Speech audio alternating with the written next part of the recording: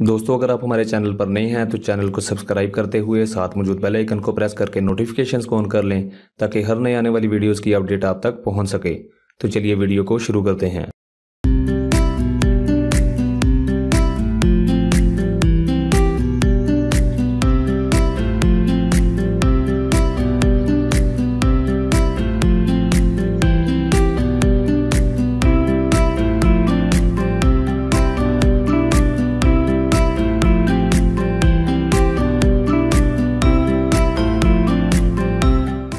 So, what's the day to day work of someone in IT support like?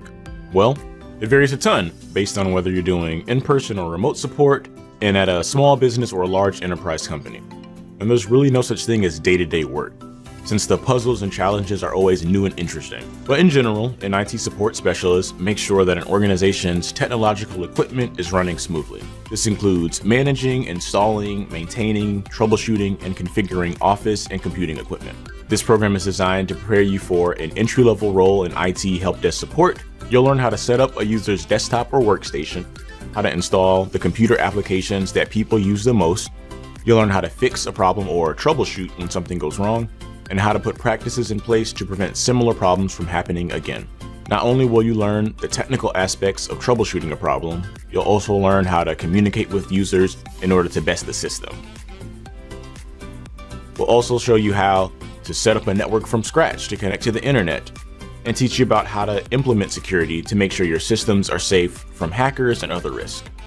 For me, my favorite part of IT support is the problem solving aspect. I love to exercise my creativity to spin up a solution to a user's issue.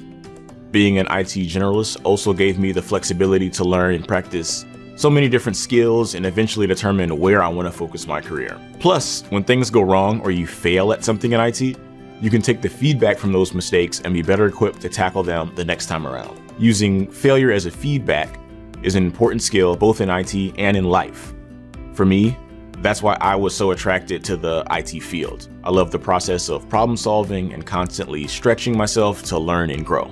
There's also never been more opportunity to get into the IT industry than now. Not only is the field of IT incredibly diverse, but job prospects are also booming. It's projected that IT jobs in the US alone will grow 12% in the next decade. That's higher than the average for all other occupations. So, what does this all mean? There are thousands of companies around the world searching for IT professionals like you. So, the main gist is that IT is totally awesome and full of opportunity, and we're so excited that you're here. So, let's dive right in.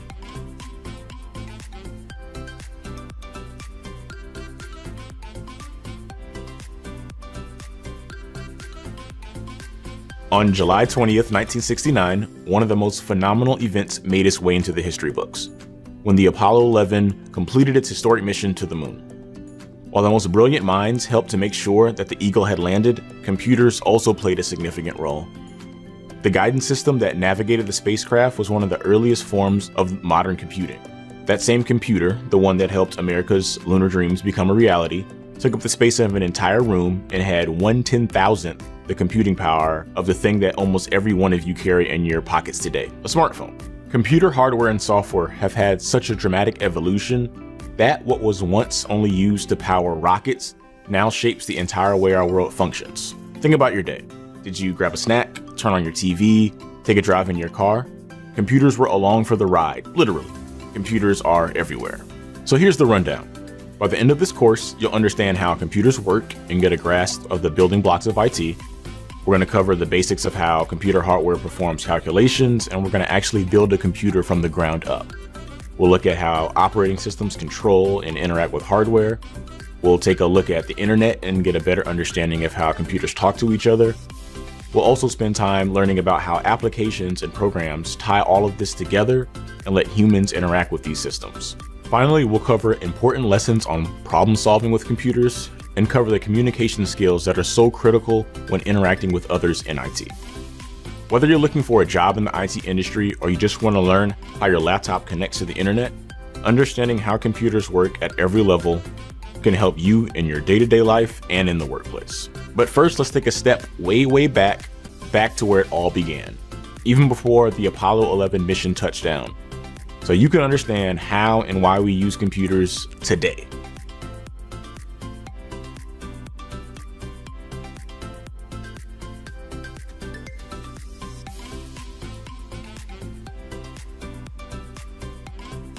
When you hear the word computer, maybe you think of something like a beefy gaming desktop with flashing lights, or maybe you think of a slim and sleek laptop. These fancy devices aren't what people had in mind when computers were first created. To put it simply, a computer is a device that stores and processes data by performing calculations. Before we had actual computer devices, the term computer was used to refer to someone who actually did the calculation. You're probably thinking that's crazy talk, uh, my computer lets me check social media, browse the internet, design graphics. How can it possibly just perform calculations? Well, friends, in this course, we'll be learning how computer calculations are baked into applications, social media, games, etc., all the things that you use every day. But to kick things off, we'll learn about the journey computers took from the earliest known forms of computing into the devices that you know and love today. In the world of technology, and if I'm getting really philosophical in life, it is important to know where we've been in order to understand where we are and where we are going. Historical context can help you understand why things work the way they do today. Have you ever wondered why the alphabet isn't laid out in order on your keyboard? The keyboard layout that most of the world uses today is the QWERTY layout, distinguished by the Q, W, E, R, T, and Y keys in the top row of the keyboard. The most common letters that you type aren't found on the home row, where your fingers hit the most. But why? There are many stories that claim to answer this question. Some say it was developed to slow down typists so they wouldn't jam old mechanical typewriters. Others claim it was meant to resolve problems for telegraph operators.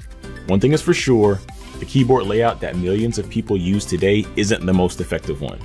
Different keyboard layouts have even been created to try and make typing more efficient.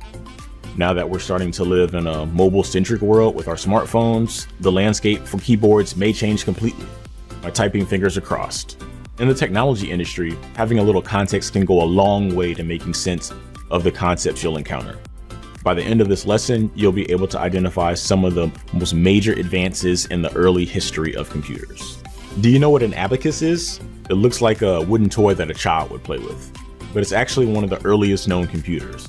It was invented in 500 BC to count large numbers. While we have calculators like the old reliable TI-89s or the ones in our computers, the abacus is actually still used today.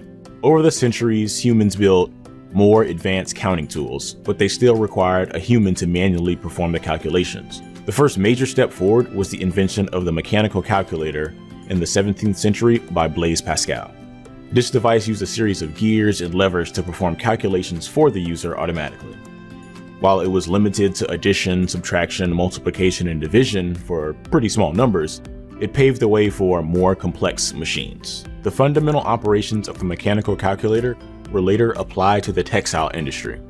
Before we had streamlined manufacturing, looms were used to weave yarn into fabric. If you wanted design patterns on your fabric, that took an incredible amount of manual work. In the 1800s, a man by the name of Joseph Jacquard invented a programmable loom. These looms took a sequence of cards with holes in them. When the loom encountered a hole, it would hook the thread underneath it. If it didn't encounter a hole, the th hook wouldn't thread anything. Eventually, this spun up a design pattern on the fabric. These cards were known as punch cards, and while Mr. Jacquard reinvented the textile industry, he probably didn't realize that his invention would shape the world of computing, and the world itself today. Pretty epic, Mr. Jacquard, pretty epic.